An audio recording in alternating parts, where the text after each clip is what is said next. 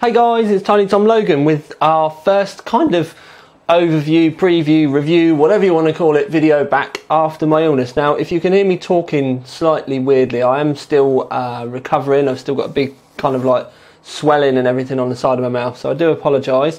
I will try my best for you though. But today we're going to be taking a look at the new Kingston HyperX limited edition Navi products. Now, uh, th there's two things. We've got the solid state drive here, which they do in a 120 gigabyte and a 240 gigabyte size, and you're looking at uh, 555 uh, megabits a second for sequential reads and about 510 megasecond for sequential writes.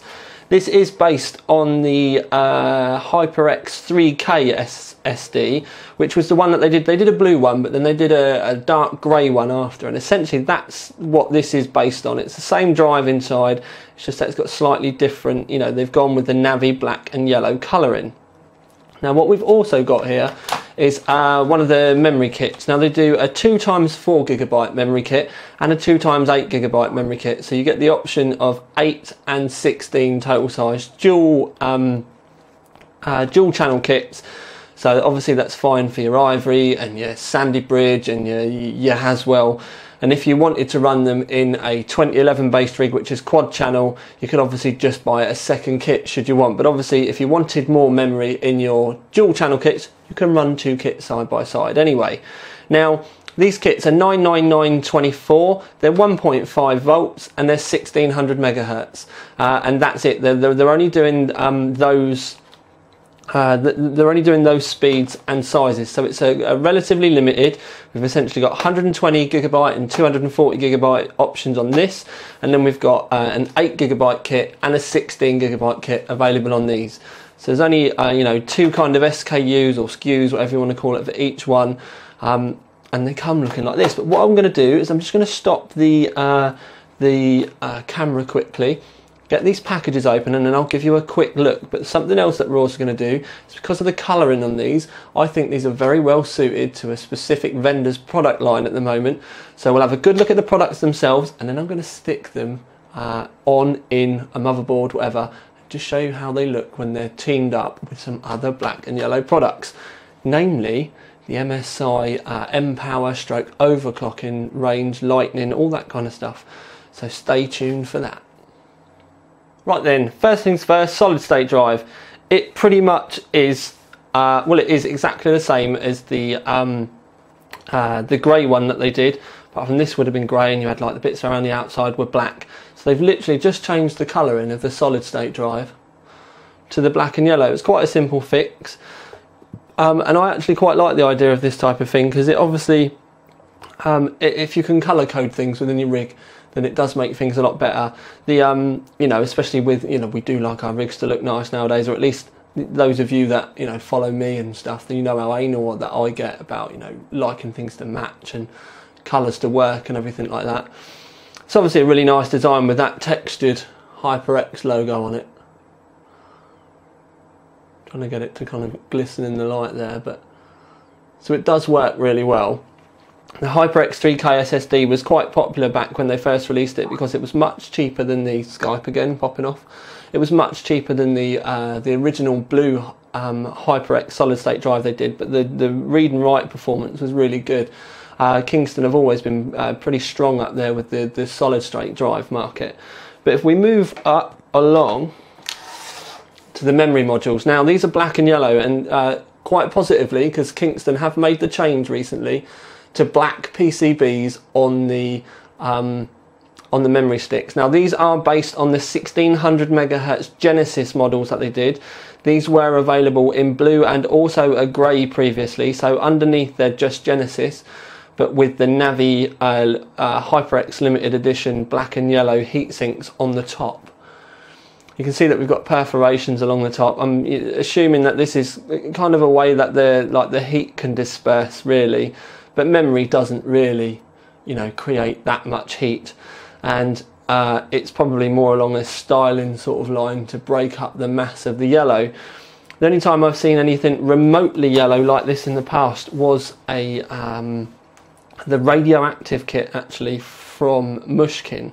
uh, but they were a much kind of more gaudy, bright, um, not fluorescent, but quite a, a, it was a pastely type of radioactive yellow. And uh, as far as yellow concerned, I really do quite like the look uh, of these. And like I said, nice black PCB, black detailing on the, the memory sticks. It all works really well. But I think the, the strong point of these products are going to be when you team them up with the right motherboard and the right graphics card, which is the thing I really want to show you now because this is the main point about this video for me personally is just quite how well these products team up with the black and yellow MSI stuff.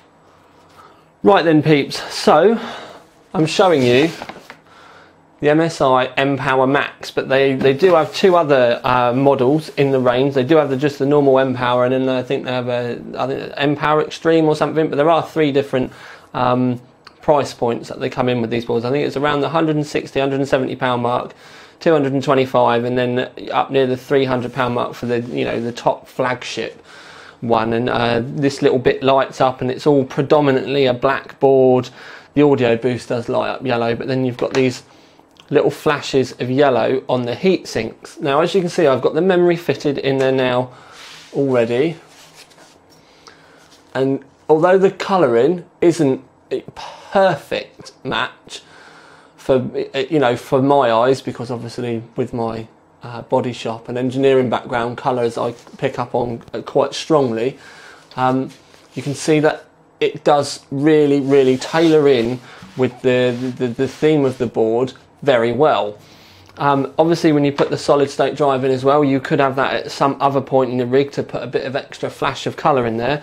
Um, but uh, sadly, I've not got a lightning card here at the moment. I did have a 770, um, so you can purchase those at the moment, which is obviously based on the old uh, 680 lightning.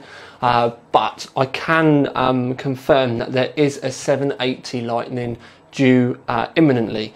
Um, now to talk about the products as a whole, obviously the solid state drive for a performance rig is going to be uh, paramount. I can't really use, um, let me just tweak the camera a little bit, I can't really use uh, mechanical drives anymore.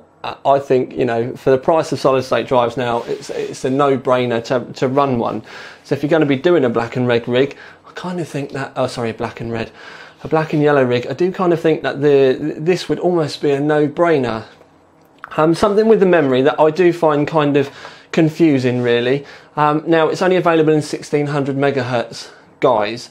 Um, now I say confusing, but it's not their fault. They've gone with the the kind of mainstream one, the ones that they know they're going to sell the most of, and that's all well and good. But when you're running uh, a board like the M Power, then um, uh, this board is designed for overclocking and I personally that if I was going to be running this board I'd want probably want some quicker memory but it really depends whether the colour is going to be the most important thing for you or the memory speed there are other black and yellow options out there but I would hasten to say that one of the other brands that does have uh, a yellow memory stick um, they light it up blue and it really does spoil it. And all of the kind of bumblebee themed rigs that people just generally kind of do just choose that memory just because it's black and yellow. I think those blue LEDs really spoil it, and it it's just something that doesn't optically work for me. So if you're looking to build a black and red rig for aesthetics, so for argument's sake, like I said, you might be doing a, a bumblebee theme build or something like that. I think this combo is pretty much a no-brainer, especially if you were then to drop that 770 Lightning in uh, because of the black and yellow aspects on it as well, you've kind of then got your, your whole kind of um, the themes of your rig uh, mapped out for you. And I would almost go and say then that beyond that point, uh, I would go with pretty much everything else black. Some white LEDs because the white LEDs will pick out the yellow. If you just use yellow LEDs, it will all bleach and it won't it won't look anywhere near as good. But if you run white LEDs, it'll pick these little highlights out and it will look amazing. Um, and then you keep the rest of the rig stealth, maybe with the odd, very rare splash of yellow on the rig somewhere, but keep it very minimal. And by keeping it minimal and having the rest black, you'll have an amazing contrast with the black and the tiny little bits of yellow. And it will just make everything in there pop a lot more. Um, and that's really why I wanted to make this video, is because it's not very often you get a kind of a range of products like this that will fit together so amazingly well. And like I said, it's just a shame that I've not got my 780 Lightning here yet because I know I am getting sent one direct from MSI HQ. But if, if I'd had it here or it was going to be here within the next week, I probably would have stalled this video. But where I know it's not, I wanted to get this done just so I could share with you. Um, so this isn't uh, like a review as such because to be fair, we've reviewed the HyperX 3K SSD in the past. It's going to perform the same. You may get slightly better performance if we were to test it on Haswell, but we would test it on the same rig as we did before so that the results were comparable. Um, but also, really, with the 1600 megahertz memory, 1600 megahertz memory for a custom build is what I denote as being entry level. This is what I consider as being you start at 1600. I don't even see 1333 as being anything more than kind of the type of stuff that you go and buy from Walmart or PC World or something like that. Um, so it's a good entry level kit. It's gonna, it's blatantly going to be well priced because of it. I remember when the, the, the solid state drive come out, it was below the hundred pound mark. So I'm kind of assuming that you know both of these products are going to be very well priced. Um, there's no confirmation yet because I've not been able to find a retailer that's stocking them yet. There's very limited information about them around at the moment anyway. Uh, but like I said, if you're thinking about a black and yellow rig, I personally think that as long as you're okay with 1600 megahertz memory, that this is just a match made in heaven. And I know there are a lot of people out there that have been looking at the um, the uh, MSI overclocking boards to have a little bit of fun with, but really because they want to do that black and yellow theme. And I think this, if you can afford to stretch to a lightning card as well that matches the black and yellow theme, to be fair, I don't really think you, you have a lot more that you uh, need to do. Cooling is obviously going to be something that you're going to need to contend with. Um, uh, you can make the LEDs on a H100i go yellow should you wish. Um, I'm I'm not even sure whether I would have them on or not. To be fair, but you know something that's going to be very minimal in this socket would be paramount. You don't want a massive air heatsink on it because it's going to start to cover stuff up. But an all-in-one water cooler in the middle with just the hoses coming off will keep all this area nice and open and be able to see the the yellow kind of flashes. And if you were if you were to do uh, use the Corsair SP series fans, which I've not got one loose to hand, but I do have the um, rings. Now these rings come off the fans and they clip off very easily. So if you wanted the other bit of colouring that I said that you could do in your rig, you could pop these rings off of the fans. You obviously need to get some Scotch-Brite and sand them a bit. Scotch-Brite is like the type of kitchen scourer type of stuff that you use, but it's perfect for prepping plastic. Um, so Scotch-Brite it all off plastic primer. You need to remember specific plastic primer. And then you could um, spray these rings yellow as well. And if you then had, you know, tiny little yellow aspects on your case fans, uh, and then kept everything else in there that you possibly could do black. So you know, you know, don't go putting any LED fans or anything like that in there. Keeping everything else minimal, I think you would be on to an absolute winner. Um, so let me know what you think. If you do end up buying these and building a rig, please remember to go and post on the Overclock 3D forums in the project log section. You need to be keeping an eye on that because there's plenty of stuff coming in that area of the site in the not too distant future. But for now at least, this is Tiny Tom Logan with another hopefully helpful and inspiring video for you out. Oh, I forgot it.